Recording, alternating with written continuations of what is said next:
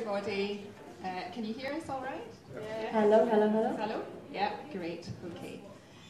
Can I just say a very warm welcome to you all uh, on behalf of the Career Service to First Tuesday Club. And I'm very sad to say this is actually our last First Tuesday Club uh, of this series. But I would like to do a big shout out to Edrington. I think there's a table over here somewhere. Can we say a big thanks to Edrington, who've been a super sponsor of our series so far. So thank you.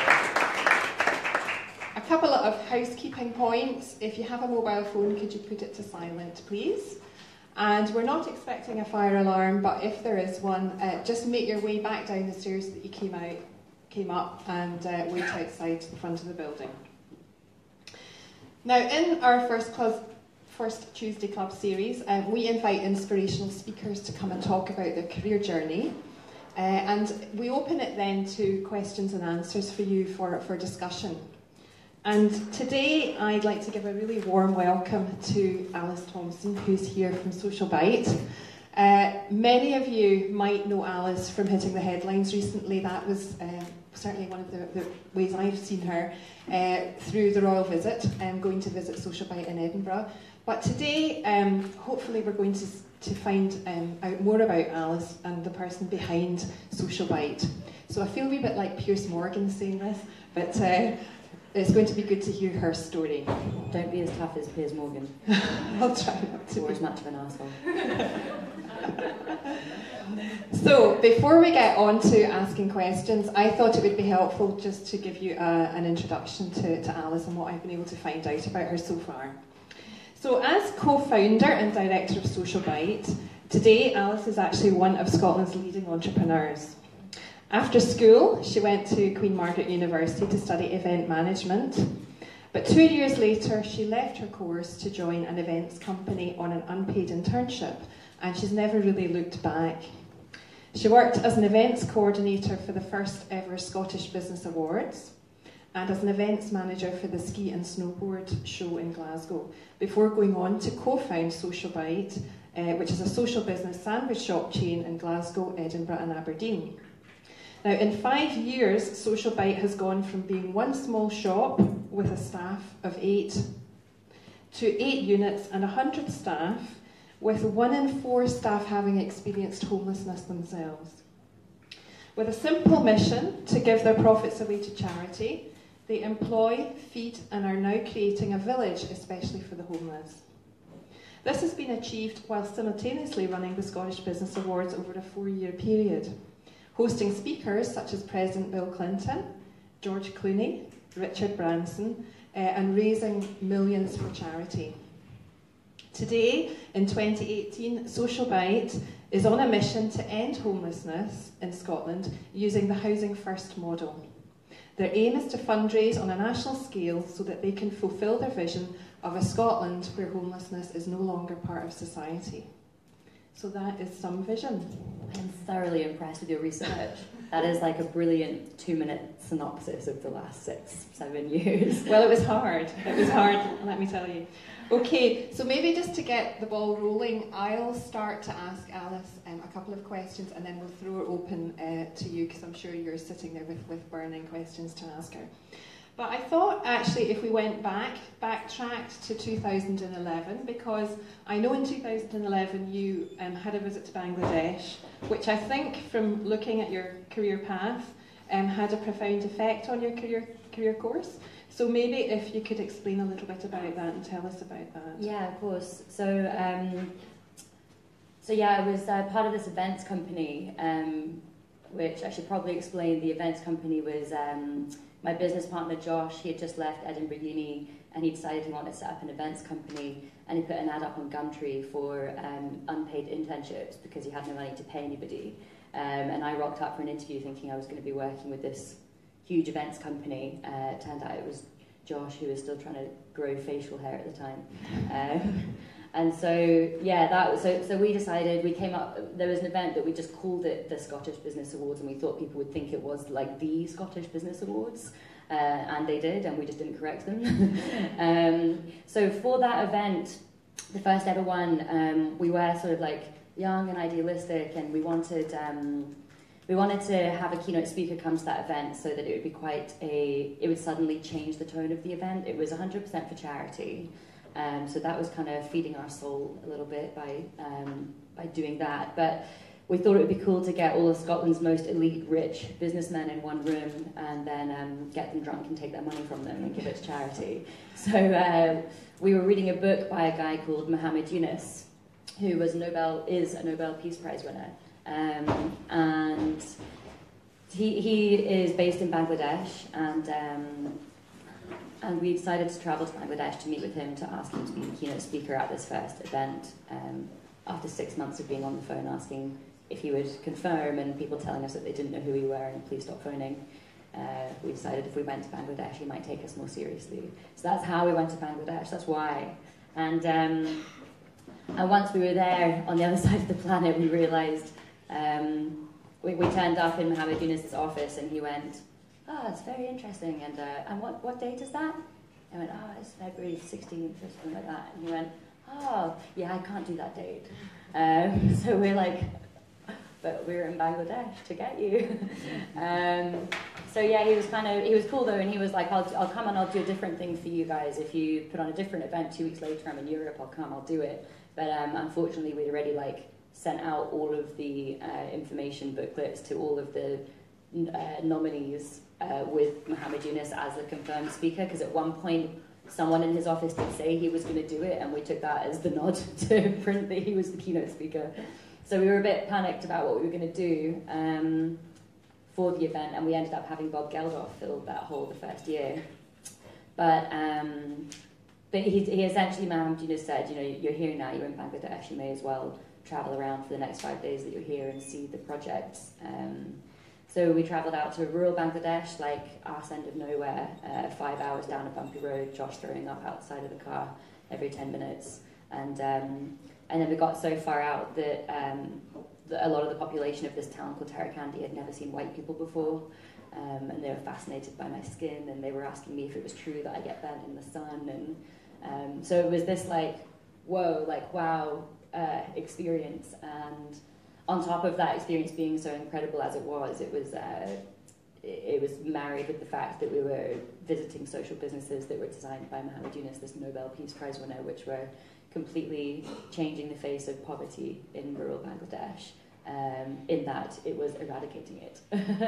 um, so that was that was the trip. That that night before we got our flight back, we went. Let's sell the events business, as in the event that we the separate event, which was a different one, which was at the SECC actually. Um, that was ski, ski one. Yeah, exactly. The Glasgow, the, the Scotland Ski and Snowboard Show. We sold that and uh, put every penny into opening the first shop. Decided to do something different. Great. And that's where it all started. And that's where it all started. Super. Now, can I open the questions to the floor? Does anybody have anything that they would... Yeah, here we go, straight away. Yeah? Would you like to ask, ask Alice a question? Yeah. Um, so, incredible story. I mean, just wow. Very inspirational, so thank you for sharing. Um, so you've given a very high level overview of how you did that, and it's, it sounds like so much fun. Uh, if I may ask, uh, how did you finance that time in your life? Because you, if I understood it correctly, second year of uni um, when you were doing this. So how did you fund the setting up of the events business? Yeah, I love answering this question. I feel like I answer this question all the time and I never get bored of it. Um, I, and I was actually, we were just having a chat about this as well. Um, so, uh, how, so how to go, well, I guess I'll just be honest we Josh's dad uh, is a sort of successful restaurateur, and he had uh, put down a deposit on a flat for Josh in Edinburgh, and Josh was paying the mortgage for that flat every month. That was the idea, and uh, the mortgage just didn't get paid. So um, I moved in with Josh, and I became a couple, which we are no longer, but we're best friends, which is way better. Um, but I moved in with him, and we just didn't pay the mortgage. Um, I don't, I don't know why they didn't turn off the electricity because I don't remember Josh ever really paying electricity bill either. So we didn't pay bills, um, not by principle. I mean, I think six months later, um, Josh started paying some things off. So you know, we just we just juggled, and then we we ate from the shop. And uh, in terms of how did we fund the actual shop opening, we had ran Scotland Ski and Snowboard Show for two years. The first year, it almost bankrupted us Uh, so the Monday after the first one, I was phoning around the Citizens Advice Bureau asking, like, hypothetically, uh, if maybe we were to go declare bankruptcy, what does that do to one's life? Um, and then we we just got by, like, just got by that year planning the second ski show. We were like, well, the cash flow was crap. We've not made any money uh, at all to survive for the year. But if we can just survive, then we can build on the ski show because the exhibitors were really happy. The people who paid to come and take part, um, they were thrilled because there weren't many exhibitors. so they had a closed audience and a, and a good monopoly of that audience. So um, people were saying good things about it, and from that we built the second ski show, which was successful and did make 30 grand. And as soon as we'd proven that it could make profit, but the plan was, you know, that we would keep doing the ski show, we'd keep doing the business awards, like that was, you know, we were running an events company by this point, sort of together, uh, with Josh leading, but me kind of doing everything and then telling him when he was being an idiot. Um, and so, yeah, by the time it came to open, by the time we decided to open the first Social Bite's shop, we just said, let's sell that event that makes profit, let's keep the business awards because that's not for profit, and that's potentially an amazing platform that we've accidentally created to build a company because we can basically stand in front of all of you know the richest people in business in Scotland and say um, can we have some money please? And we'll keep doing really good things for the homeless community we promise I mean there's so many other things I could tell you about how we funded it but I don't know when to stop talking a key takeaway there is stop paying your bills stop paying your bills and just uh, you know don't vote and uh, no don't do any of those things definitely vote even when you're not paying your bills Great. Okay, anyone else? Another question? I mean, I'm in so much debt, I should. I feel like I should really make that clear. Like, Josh's credit rating is. Uh, I mean, I hope he'll be okay getting a mortgage one day when he comes to do it himself. I'll be better because it wasn't my name on that mortgage. But um, I had an O2 uh, SIM card with a contract and I didn't pay my bill. And then, you know, eventually when you don't pay, you guys are students, you probably know when you don't pay your bill for long enough, they just cut you off you can't use it anymore, which seems very unfair to me. And um, I decided that if I just threw that SIM card away and went into EE and got a different SIM card, which of course they'll give you because these companies want to give you, you know, credit and contract and all of these things, um, that that SIM card is just gone now. It turns out that that SIM card just like the bill just doubled, like while they were trying to doubled and then it doubled again and doubled again while they're trying to find me. So what was probably like a 50 quid phone bill has been about a grand that I've been paying off 100 pounds a month uh, for the last however long, and that finishes August this year. Um, so I should definitely say don't necessarily take that advice, but also you hear that sort of thing quite a lot. People that set up businesses just don't pay shit, and that's how you get it done. It's not a great way to go about things, but it's yeah. Anyone got another question? Yeah. So I'm not really sure exactly what kind of projects in Bangladesh you saw, or if you got inspired by them or something like that. But why did you choose to go in this specific direction when setting up a socially like beneficial business? By this specific direction, can you be more specific about what you mean by this specific direction? Why did you do social life? Oh, okay. Um, so yeah, do you want me to tell you a little bit about one of the, um, like a couple of the businesses that we saw over there as well? That were kind of... Yeah, why not? Okay, so the one I like talking about is, so there's two, Muhammad Yunus defines social business as two different types. So there's one type where the business itself um, exists to achieve a social objective. So any profits made by that business get plowed back into the business to expand it and reach more people. Um, so a good um, example of that that we saw in Bangladesh was uh, a company called Grameen Danone. So Grameen is the name of Muhammad Yunus's social business umbrella. He has he started like over 50 social businesses in Bangladesh. He doesn't own a share in a single one of them. They're all owned by the people, for the people, by the people. Um, so Grameen is his umbrella, and Danone is like you guys know Danone, like the yogurt company Danone. Like mm, yeah. um, so they joined up and they, they realized that malnutrition in children was a massive problem in Bangladesh and um, so they decided to make a yogurt that was fortified with all the nutrients that a child needs to survive for one day. And they decided to make that yogurt um, and sell it for very very cheap about a penny a cup. Um, or they kind of go, come like frubes Um, so they could sell these yogurts to parents that had no money. Um, and if they just gave nothing else other than this yogurt to their children um, every day for six months, the child is restored to full health. So that company is, by existing, achieving a social objective. So if that company makes any money, which last I checked five years ago, it was not. um, but if it does, then it gets plowed back into the business to expand it and reach other areas that need it. So that's business, social business type one, and social business type two is any business, any Tom, Dick, and Harry, just um, giving its profits to charity, so taking the greed out of um, business. So you pay yourself a salary, you never pay yourself more than seven times the lowest income paid out by the company. That's how Muhammad Yunus defines taking greed out of that. And um, so, yeah, there were these two different types of social business. So those are the kind of things that we saw firsthand. And when we bought, we bought like um, 200 of these frubes and we were leaving the hotel in Dhaka one day. Like it wasn't like we, we weren't like staying in hotels when we were out in rural Bangladesh. We were staying like on floors and things. But the one hotel we did stay in in Dhaka, the capital of Bangladesh, whenever we left the hotel with these frubes, like just get surrounded by these kids like snatching fruit. These they're not frubes, but they look like frubes. Um, snatching these yogurts off of you, and like parents are just desperate for these things because they know it's going to keep their children alive. So that was for us like one of the things that we're like, wow, this is incredible. You can use business as like a tool to propel society forward in a better way rather than just for personal greed.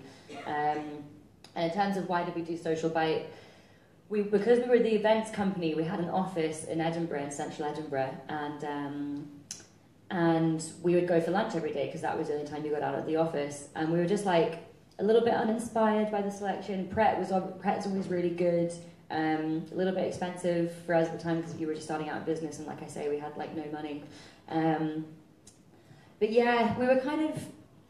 We also we wanted to start a business that was going to be a social business and be quite quick to get off the ground. We didn't want to have to go and like learn how to do something that was going to be really complex. Um, so we just thought, make food and sell food, make food that tastes good and sell it at a reasonable price. That seemed in our head at the time, we thought that's so simple. We can make. We started making sandwiches and um, doing a trolley service where Josh Josh managed to get this van that was. Uh, it was just a normal van, but it had been converted into a refrigerated van, and it was very dodgy, and it was half black, half white, and it was like as if it had been glued together in the middle.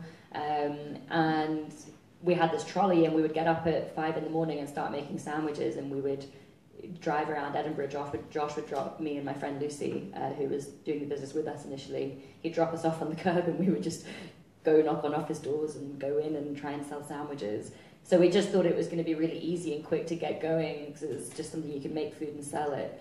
Um, and we were initially we were just going to give the profits to charity because we were coming back from Bangladesh, where poverty is raw, and we were thinking, well, it's not really like that in Scotland, so, you know, I guess we'll just give the profits to charity because it's not like we can come up with a yogurt that's going to provide food for a malnourished child because, touch wood, that's not a problem that we so much have in Scotland. Um, so, yeah, it seemed like the simplest way to go. And um, and then it was only once we opened and we started trading that we realised that there was a guy selling the big issue right outside and that he could have a job and that we could be giving food to homeless people and that there was so much more we could do with it than just giving the profits to charity. So.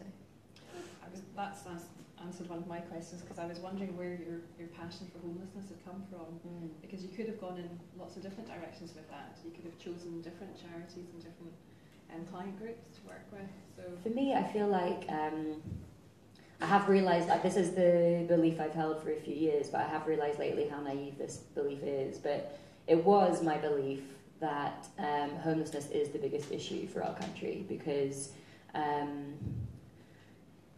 yeah, no, I'm going to go ahead and say I still do feel like that because I feel like if you don't even have a roof over your head, how are you going to fix anything else? So, yes, there's cancer and there's you know all of these horrible things and these amazing charities that exist, but there are people on the street with cancer and we homed one of them uh, in December. Um, housed one of them. So I feel like you know every other problem in life is a lot more difficult when you don't have access to running water, when you don't have access to clean clothing, to warmth, to shelter, to safety, to um, security, and feeling part of a community and feeling respected by other individuals rather than walked past while you sit on the floor in your own filth with nothing, asking for spare change. So I feel like for us coming back from Bangladesh, again, it's that kind of, I, am sure other charity leaders would say that's very naive point of view, and they would be right, but that's just my experience of life has been being around poverty in Bangladesh and from the drive from the airport to the hotel in Dhaka, having, you know, traffic in Bangladesh. If any of you have ever been traveling, you'll know what I'm talking about, like sort of Vietnam, Bangladesh, India, the, the traffic systems in places like this, like there is no system. There's traffic lights. I don't know why there's traffic lights. Nobody pays attention to any of them. Um, they just beep and move. so we were sort of stuck in traffic on that drive in, and um, and a guy a guy who had one eye and uh, was like had like a rag around his um, penis. um, and he came up and, and the door the window was a little bit cracked on Josh's side and he was putting his hands over the window and, and gesturing to us that he needed food like this.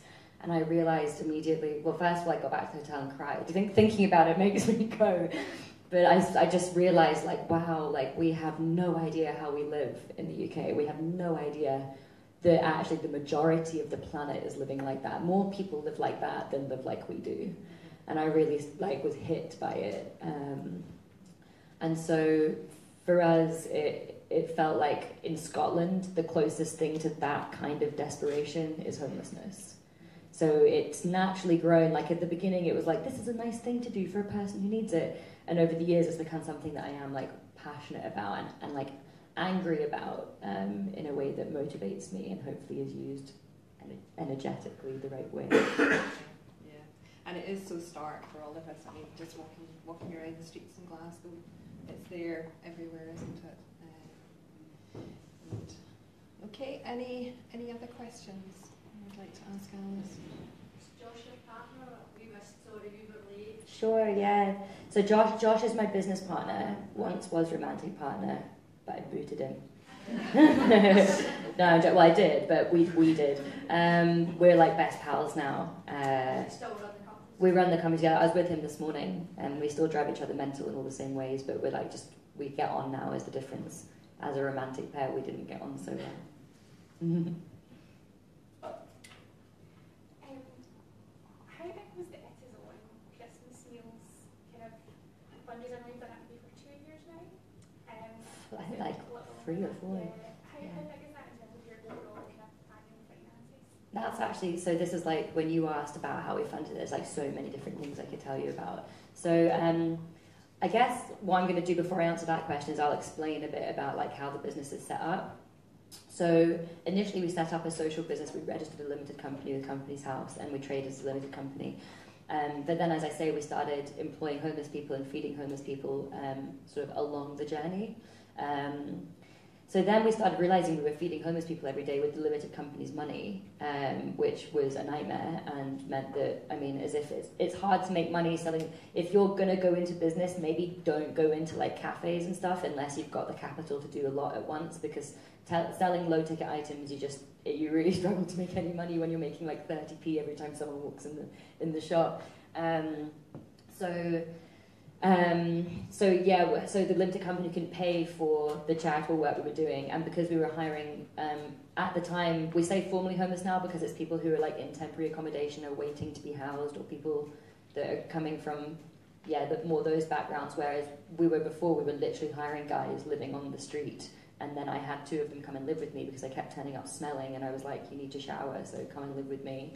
Um, so when we started doing all this charitable stuff, we realized we should register a charity. So now what we have is the Social Bite Fund, which is the charitable body, and that sits um, at the top. And the, char- the Social Bite Fund owns the limited business.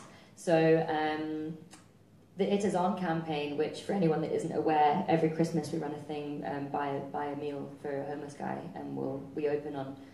We started by just opening on Christmas Day in the Rose Street shop in Edinburgh then we started opening, the following year we opened uh, on Christmas Day in every city, and now we open on Christmas Eve and Christmas Day in every city.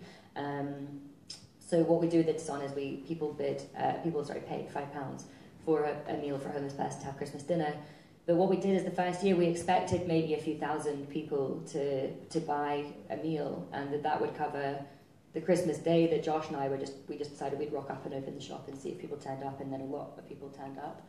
Um, And then we thought any money, any of the money left over can pay for the food we're giving away um, for the first few months into next year, maybe January, February. That would be nice.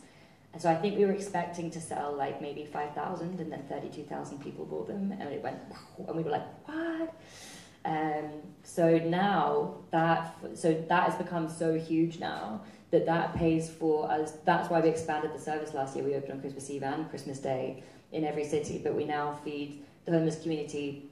No homeless person in Edinburgh, Glasgow, or Aberdeen that comes into a social bite shop is ever denied food. We just constantly give food out to them, and that pays for it for the whole year. I think it just about pays for it for the whole year, and then it's topped up by the pay it forward service, which means that that that last maybe couple of months that it wouldn't quite cover, it ends up covering. So Great. Does that answer your question? Yeah. so it is on is a big part of the charitable thing that we do. In short, Is there any abuse of the system? That's so interesting. So when we Did, did you hear that question? Did everyone hear that? She said, is there any abuse of the system? Yeah, so that's really interesting. And when we first started doing this pay it forward service, um, before even It Is On came into the picture, uh, we had customers sometimes asking us, but like, but how do you know if someone's homeless? Um, the answer we always give is that if someone wants to pretend to be homeless to get free food, we'll give them free food. Um, how desperate is that person's life that they're pretending to be homeless to get free food? Uh, also, they usually don't come in wearing like suit and tie. so you can kind of tell. Yeah, there were instances in Torbay recently where they, there seems to have been a lot of people sort of sitting on the street corners pretending to be Yeah, so going home in the evening. this is good. This has given me a great opportunity to rant about something. Um, it's a really good question. Um, so people, yeah, we had that a lot. Like a lot of the guys that were working with us, because obviously we were employing guys that were at the time living on the street or selling the big issue, and so they knew like the guys on the street. They knew who was and who, who wasn't homeless. And they would come in for the suspended. We used to call it the suspended service because it's like you suspend an item, but we now call it pay it forward because people understand that a bit better. So they'd come in for the pay it forward service, and um, and some of the guys were they're not fucking homeless. I've seen them. They go home every night, and like, oh, all right for them.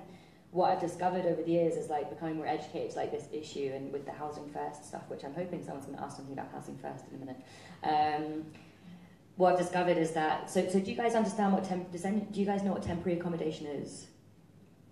You guys understand how that works? So our council has a responsibility to house any UK citizen who declares who, who presents themselves as homeless, um, which is great. But what that really means is that these temporary accommodation um, and B they're B and B's, but there's no breakfast involved, and some of the guys have told me that like sometimes there's no bed involved. It's like a room that you're booted into.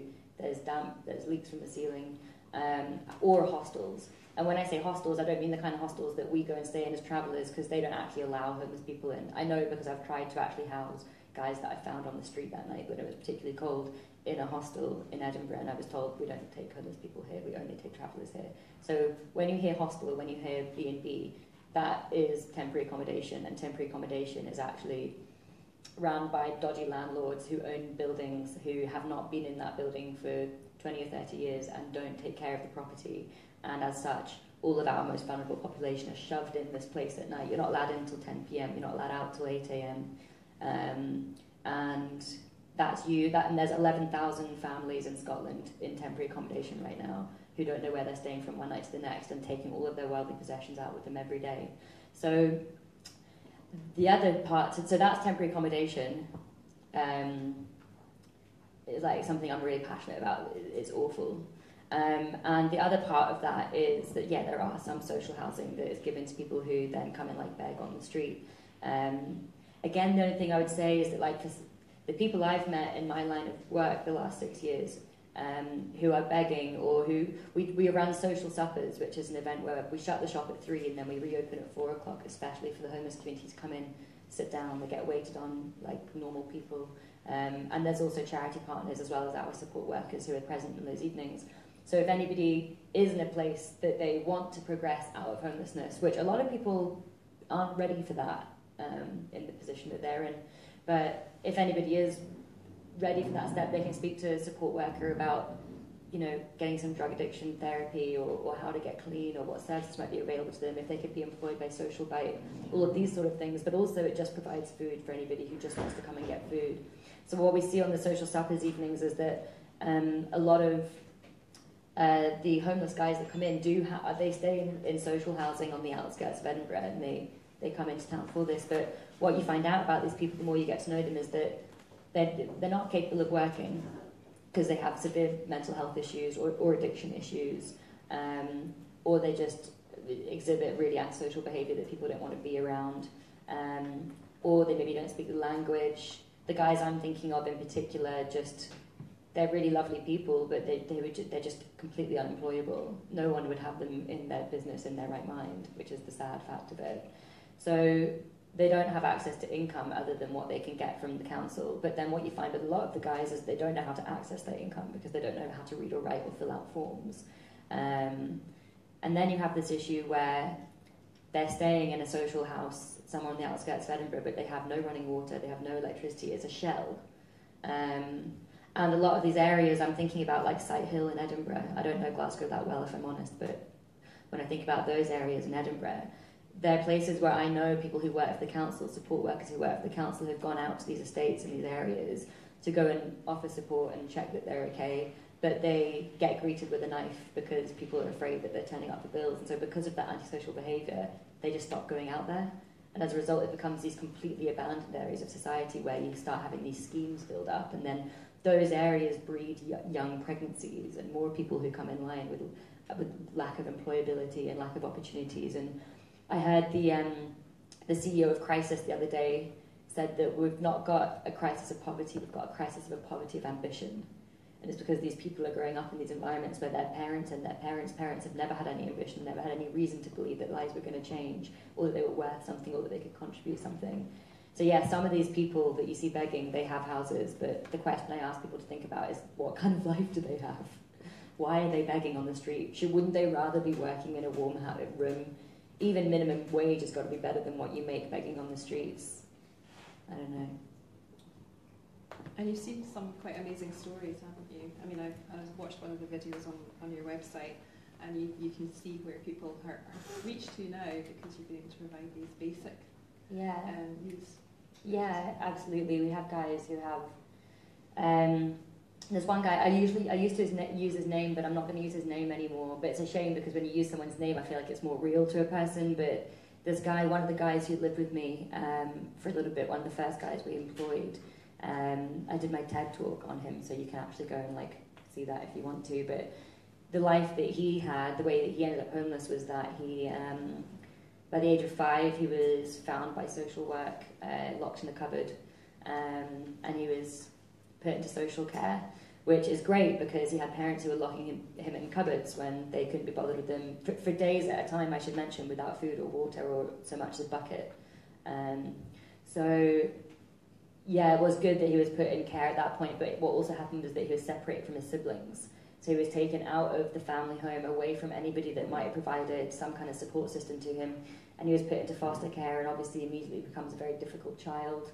Um, you know, swearing at anybody that tries to give him help, and um, that kind of like weird, smelly kid at school that everyone kind of has, like one or two of those people in school, I think, who no one really knows why a guidance counsellor follows them around sometimes and like escorts them from room to room. But we used to have kids like that, and uh, or I remember one kid in particular in my school, and I grew up in the Highlands of Scotland. There was only a couple hundred kids in my school, so um, yeah, I remember one kid who had all of that support and all that work, and I remember learning that this guy who was working with us was one of those kids who had all of this special help, but unfortunately was kicking back at all of that help because all he'd ever known was being abandoned. And uh, so by the age of 15, he, he left the foster home, he left school, and um, by the age of 17, he was arrested and put into juvie, as they call it, put into prison, uh, youth prison, for assault, which is no surprise because as soon as he left the foster home and he left the schooling system at 15, he was on the streets and didn't have any friends or any family, nobody would take him in.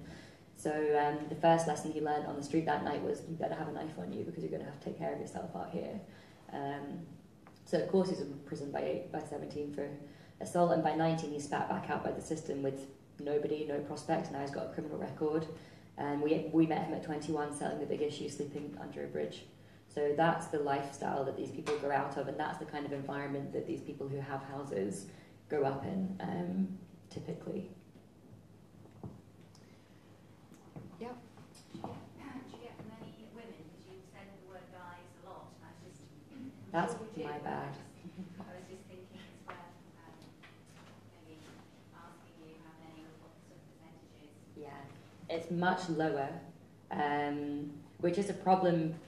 but it's also rep- uh, representative of the community.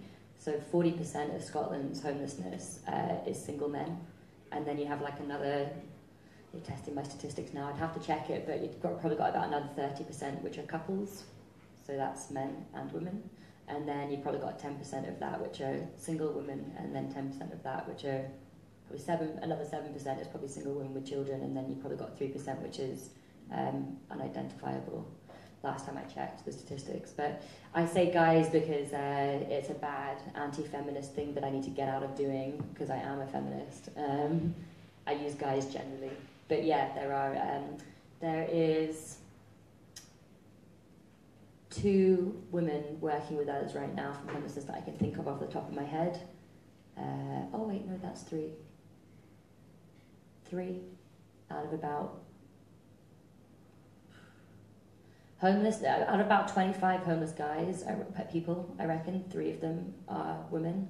But then we have about another 10 people on top of that who aren't actually homeless but so like one guy who works in one of our shops in edinburgh came to us in the first year of business and just his mum had heard that there was this social business that had opened up and she brought him in when he was like maybe 17 and she said, My son is heavily autistic and he's never going to be employable anywhere, but he can, he's very good at if you show him how to do something, he will do that again exactly as you want it.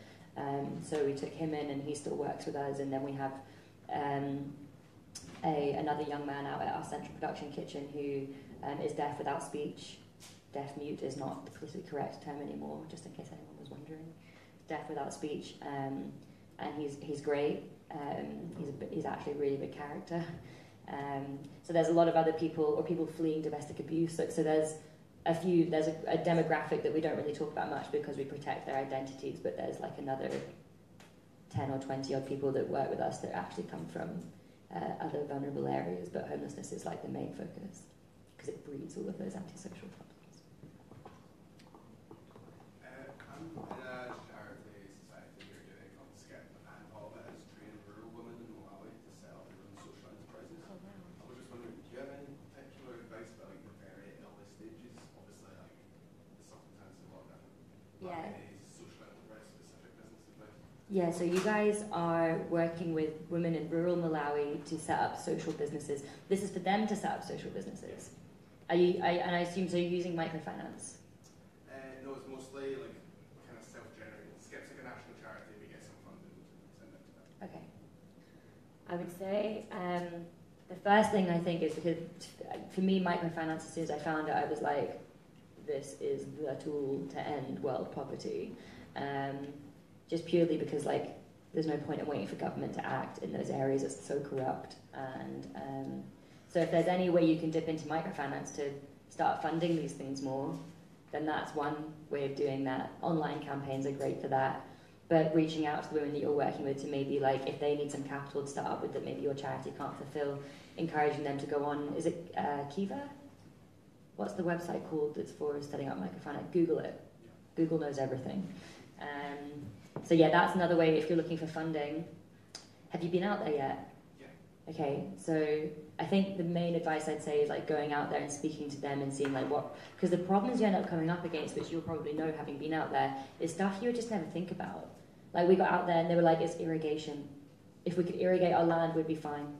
And I was like, huh, never knew that. That's Africa's problem, like obviously. But um, it was really one of those things that like their family and everything would be fine. And so they they started creating these little devices, like these little hoses that they would line throughout the field that would then they designed them so they just started stabbing holes in them and, and connecting other hoses so that it would irrigate the land more efficiently. So and then the, yeah, they all sorts of different like walking machines that you could walk on it and it would pump water out all over the field. So we I started to understand like the basic issues that they were the basic issues they're coming up against are really practical, easy to solve issues if you've got some money and some brain power to apply to it. So I would say just spending time out there and speaking to them. But if you've done that, maybe that's not helpful advice. I don't know.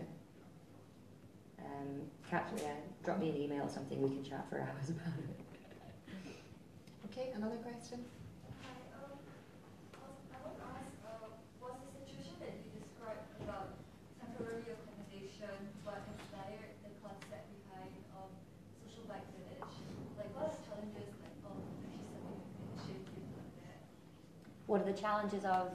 Of, uh, know, like Social Bite Village is Yeah. one of the projects, right? Okay. I was wondering, like, is the situation that you described about temporary Yeah. accommodation, um, what inspired that? So yeah, so temporary accommodation has inspired a lot. Um, I'd say what the knowledge, the thing has been like working with these people, and like some of the guys would say, like some of the homeless people would say, "Oh, I'm gonna go stay at my B and B tonight," and I started getting a bit curious a couple years and going, "What B and B like?" Sort of doesn't sound that bad, really, does it? Um, so once I started like hearing from people, they're like, "Oh, wait, wait, wait a second. There's no bed and there's no breakfast involved." I was like, "What? Why is it called B and B?" Like, I don't know. That's what the council calls it. It just sounds better, I suppose. So starting to learn all of this stuff and starting to really spend my time around these people and seeing the realities of where they were staying was an inspiration, but it wasn't the direct inspiration to the village. The village was just something where we felt like we started a business where we were going to give the profits away. Then we naturally decided to employ homeless people. Then we naturally decided to give food to homeless people. So it just felt like the next step on. We were just like, we just we need to keep doing stuff and using our sort of like entrepreneurial um, mind, minds to tackle these big problems. So why don't we just start housing them? it just seemed like the next step. So the village idea was born, and um, the idea was yeah that it was going to be, you know, this place in Granton, which is out by the sea in Edinburgh, um, and that was an interesting idea, and it's still going to be a really valuable thing, and it opens any day now. Our deputy chief executive Jane, who's incredible, is just like running around like headless chicken, getting that all set up. I haven't even I haven't seen it since the very early stages, so it's going to look completely different when I go and see it. But no, if I'm honest, what happened was it felt like the next step, and then we came out with this thing of like we're going to put this village together and we're going to house people too. Um, but there's only 20 spaces out there, and it's for a 15 month period at a time as a sort of solution to, I suppose, temporary accommodation, yeah, with the view to put them in permanent housing at the end of that tenure. But um, the really interesting thing that's happening with Social Bite right now is this housing first stuff, which I'll, I'll wait and answer that stuff in another question, but because it's a long thing. But uh, temporary accommodation is what inspires me to understand housing first as the most important way forward for homelessness in Scotland. So it still educates a lot of what we've done, but what I see the village doing is providing a really good, safe place where it is slightly removed from society um, for people who uh, need a different level and like a community integration type of support where they need to live with people who are also trying to improve their lives. And what I see it as being one day is maybe a place for, it's not this right now, but I see it one day being a, like a rehab place. So homeless people who are struggling with addictions then have an opportunity to go and stay in a nice, warm environment where support lives on site 24 7 and they're with other people who come from homelessness who are trying to get clean. Um, because obviously, like one thing everyone sort of knows about getting sober and rehab is that you need to be taken away from the environment in which you're in with all of your regular habits and things. So, um, but yeah, the village is, going to be an amazing project, but it's also uh, it was in my eyes it was sort of a stepping stone to finding this really like amazing housing first strategy. Can I just ask? Um, so, um, so much of what you have done and achieved, I think, is as a result of passion and vision. But for students here who've maybe got an idea, want to, to become social entrepreneurs, what do you think are the key skills, traits beyond passion and vision that, that would help them with this? Mm, That's a good question.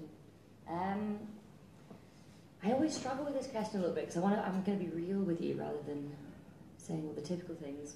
Um, I think you have to, like, when I think about like social bite success, like Josh and I have been like a brilliant yin and yang to each other. Um, Josh is very entrepreneurial, like to the point of irritation for a lot of people. Like, you guys know, like, you guys kind of ever do any research on like Steve Jobs kind of characters? Like, truly amazing men, people who are just like, it has to be that way. why wouldn't the button be round rather than a square? Round is nicer to look at. No, Steve Jobs, it doesn't work that way. That's not how computers work. It is now. Like that forward vision is incredible, and I think Josh has that. But what Steve Jobs and Josh also have in common is that they drive people mental, and that they're actually really difficult. Not necessarily Josh, but that kind of character is really difficult to be around, and people don't like working for that kind of a character because they're unreasonable and they ask for impossible things um, for not much money and all of your time. Um, so actually, you know, and actually Josh is still a little bit like this sometimes. Jane, our deputy chief executive, was saying to the other day that she's struggling to nail down this meeting um, for all the people from all the different charities to come together and, and work out the, the system for the village. And that Josh was on the phone to going, I just don't understand why they won't meet me on a Sunday. What is wrong with them? Are they not free on a Sunday? And Jane was like, no, because that's not reasonable, is it, Josh? Because uh, people have like families and lives and stuff, and people's lives don't actually revolve, revolve around what you want to do. but Josh doesn't understand that because Josh is like, I need this thing done. I've got an hour free on Sunday. Why wouldn't you know? So I think it is it's this unreasonable inability to hear no when you want to do something, that entrepreneurial character. Um, but then I think what worked really well for us was that I was I, on the other end of that. I was raised like my mom's a counselor, so I was raised by like a therapist who's like, mm, and how do you feel about that? Like all of the time. So I've grown up to be quite a, like I love to like hug the homeless guys and get to know their stories and work with the staff. And when the staff are like, you know, at the end of it, and they're like, I just can't come in on Saturday. I've worked five days. I'm knackered. Like I've got this on. I've got that. I really I hear their stories like, oh, that's really like that can't be. Um, we've got to change that. So you've kind of got like those completely opposing characters, and I'm quite, I'm very creative, but I can't take credit for Josh's entrepreneurial spirit. But Josh can't take credit for my ability to like keep people around beyond where they would have done if Josh would have been left his own devices. Um, so I think like the combination of that was brilliant for Social Bite and really exhausting for Josh because he spent his whole life being like, just do what I want you to do, Alice, and me just being like, stop asking for me to do the impossible, Josh. So I think for us, if I'm speaking authentically from my experience, that has been my experience of what made it work so well. I think the the passion came later for me. Like I say, we sort of it was a cool idea. I grew up think like Bob Geldof like did Live Eight when I was 16 so I was watching that like this guy is a rock star. Like I loved his aggressive sort of rock star personality that went along with this social conscience. So I loved all of that. But so the, the social bite thing really appealed. I wanted to build that with Josh.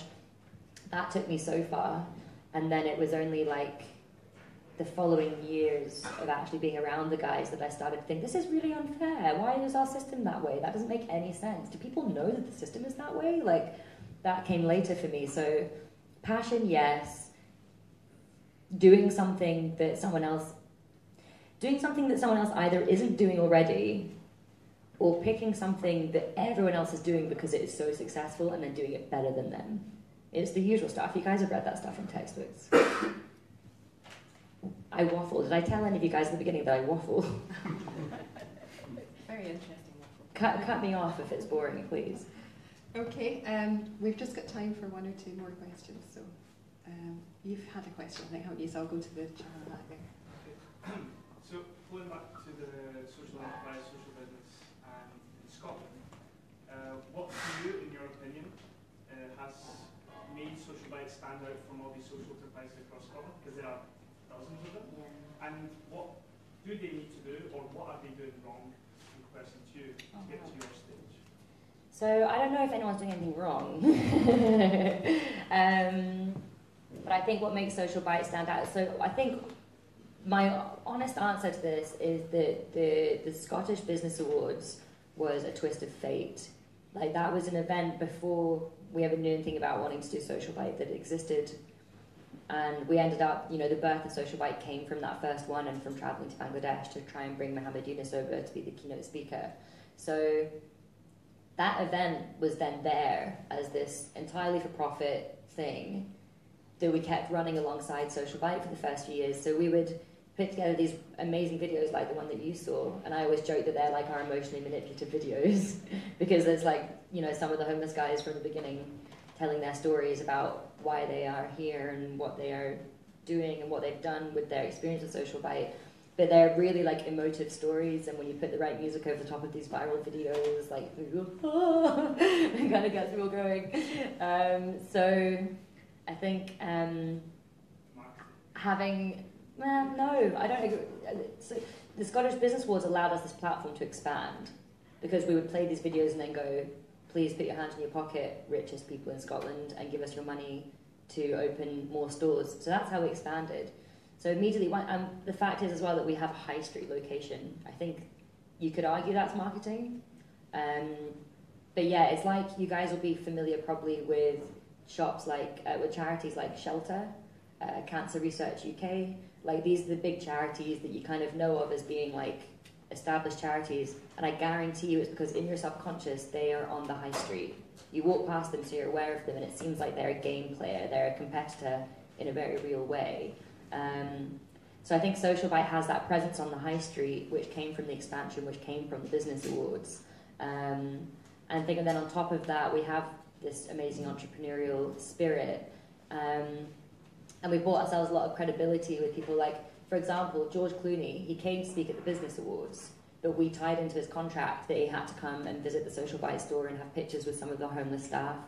And as such, the press report George Clooney stopped by Social Bite like as if he like heard about social bite in LA and had to come over and like visit us and, and shed a light on this issue. Um, and then Leonardo DiCaprio came the following year um, for the business awards again, but same thing. Um, and then off the back of that, a couple weeks ago, Prince Harry and Meghan Markle just genuinely got in touch and said, "We're in Edinburgh, would like to come and visit what you're doing." So I think we've managed to get a lot of credibility in all of those areas, and we just dream really big. So like last year we did Sleep in the Park to raise millions of pounds for Housing First. And we had like 8,000 people come together and sleep out like under Edinburgh Castle in a very, you know, in the bang centre of Edinburgh. So we're, we're not afraid to be like quite ballsy and like um, kick up quite a fuss, which hasn't, you know, there were times that third sector didn't like receive us very well. Like when we came out with the village plan, we received like some negative press from like CEOs or like leaders of other charities that were like, you guys don't know anything about homelessness. You don't solve homelessness by putting a bunch of homeless people in the middle of nowhere. They need to be integrated into society. You need to learn how to live amongst the community. That's what we need to be working on. And any research would tell you that. So that kind of gregarious attitude of social bite has at times ended up, you know, doing that for us. But then we react, responded to that as well, and we said, okay, let's commission a study to Heriot Watt University and asked them to find out what is the cause of homelessness, what is the solution to homelessness, and that's how we found out about Housing First. And now we've got like another level of credibility where, yeah, we've got the credibility from the public eye, but we also, in the third sector and now at government, we're being listened to just because we responded to that. Uh, so I think it's, yeah, it's just so much. It's, it's just being able to listen. I think being able to listen to like other entities and listening means asking questions as well. Listening means like asking something. Like this morning, we were this something. This is my big thing this year is asking questions when I don't know about something. So when I don't understand a housing like a principle in housing first, which is this big thing we're doing at the moment, I ask about it rather than not saying anything because I think people think I should already know the answer to that. I'm now just asking the dumb questions. And this morning we were looking at new locations for another potential social bite shop in Glasgow and we're walking around with this property guy, and he's like, yeah, because the restaurants requirement sector has really decreased lately, and so you guys are actually at a really good time. And I was like, and the, I was with two, the guy, it was with Josh and a board member, and they're like, hmm, that's really interesting. And I was like, sorry, what do you mean by the restaurants requirement sector is really decreasing right now? What requirements, their requirements for what? And then I had that explained to me, and, and I think it's listening and asking questions when you don't understand what you're listening to so that you can get the whole picture and then act upon that. I think that's vital. Great. Well, Alice, that's been absolutely fascinating, and I'm really sorry it's coming to an end. Uh, we've, we've, got we've got to stop now. We've got to um, wind up. But um, I just think, well, you got the housing first thing in at the end there. So that was I was wondering. I was starting to think, how can we bring in housing first? Because I know you wanted to talk about it. Um, but I think, you know, for us working in careers, we see a lot of students who say they want to make a difference. They say, I don't really know what I want to do, but it's really important to me that I go out there and I make a difference and I give something back.